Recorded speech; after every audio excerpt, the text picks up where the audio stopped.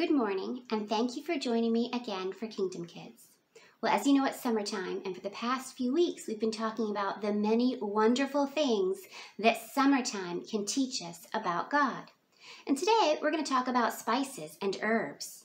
Now, do you guys know what spices and herbs are? What makes them different from a regular plant? Well, spices and herbs usually smell good, and we add them to our food to give us flavoring. So it's not like a vegetable like a zucchini or a fruit like an apple. Um, you wouldn't necessarily eat just spices for your meal, but they make your meal taste better. They give flavoring to it. And lots of spices also help keep things fresh longer or they can be used as medicine. You know, sometimes if your tummy is hurt, your mom and dad might make you a cup of mint tea and see, this is a picture of mint, and mint is an herb that grows in the summertime. And there's another herb, basil, that I have growing all over my garden right now.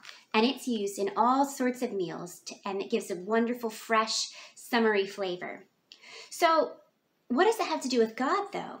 Well, in the Bible, King Solomon was visited by people from all over the world who wanted to share in his wisdom and they would bring things to him. And so in Second Chronicles it says this Year after year, everyone who came to see King Solomon brought a gift articles of silver and gold, and robes, weapons and spices, and horses and mules.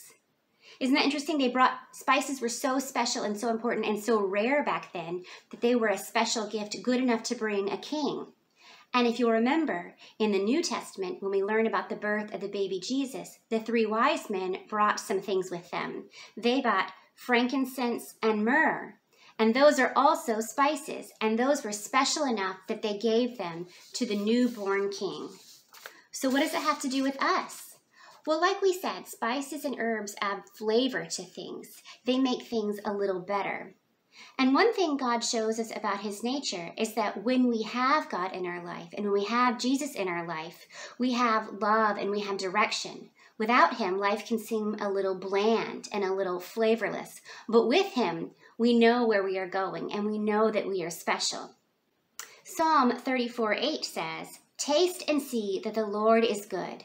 Blessed is the one who takes refuge in him. So, God and Jesus, they're the spice of life.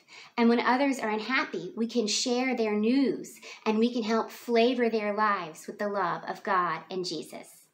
So that's it for today. But the next time you're eating a meal, think about how the things that are added to it make it even better.